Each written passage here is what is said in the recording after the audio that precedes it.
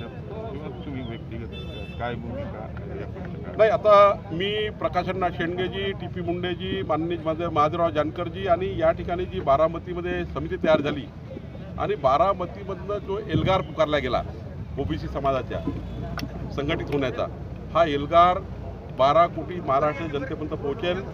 कारण ज्या एल्गार पुकारणारे कार्यकर्ते आहेत ते सामाजिक कार्यकर्ते आहे ते कोणी राजकीय कार्यकर्ते नाही आहे त्यांनी सर्वपक्षीय एल्गार पुकारलेला आहे. आणि त्यामुळं मला वाटतं की त्यांनी जी या ठिकाणी आज संघर्ष उभा केला हा योग्य संघर्ष आहे.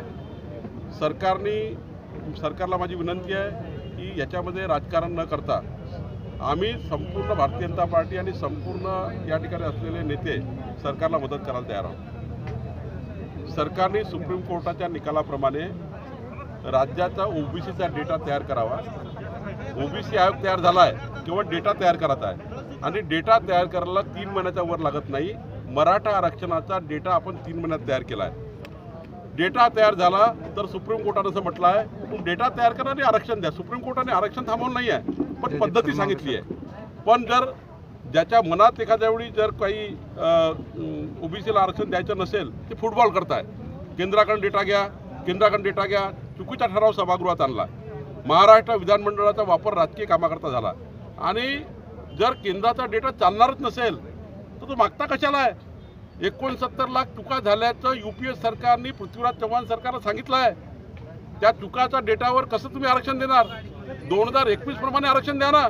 दोन हजार एकवीसचा डेटा तयार करा ना. आणि तीन महिन्याच्या वर लागत नाही ना. वडट्टीवार साहेब साहेबही बोलले की आम्ही तीन महिन्यात डेटा तयार करतो.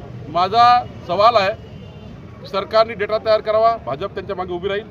डिसेंबरपर्यंत करावा संपूर्ण आरक्षण क्लिअर करावे भाजप अभिनंदन करेल. आणि आम्ही सर्वांनी आज ठरवलं आहे की जर सरकारने डिसेंबरपर्यंत डेटा तयार केला नाही याचा अर्थ सरकारच्या मनात काहीतरी काळबेर आहे.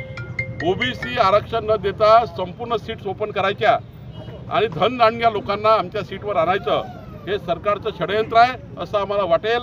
आणि मग म्हटलं मात्र गावागावात रस्त्या रस्त्यावर संघर्ष झाल्याशिवाय राहणार नाही. आम्ही कोणीही चूप बसणार नाही. आम्ही आज राजकारण करणार नाही. तुम्हाला मदत करायला तयार आहे. तुम्ही वाटेल ती मदत करायला तयार आहे. सुप्रीम कोर्टाच्या निकालाप्रमाणे काम करा. आम्ही तुमच्या पाठीशी उभं राहायला तयार आहे. पण तुम्ही डिसेंबरपर्यंत केला नाही. कारण प्रकाश अण्णांनी बरोबर म्हटलं आहे. डेट दिली नाही आहे. आयोगाला कोणत्या डेटपर्यंत करा. आणि त्यामुळं आपल्या माध्यमातून सरकारला माझी विनंती आहे. सरकारने बारामतीमधनं तरी त्या ठिकाणी उद्रेक लक्षात घ्यावा. बारामतीकर रस्त्यावर उतरलेले आहेत. सरकारने लक्ष द्यावं.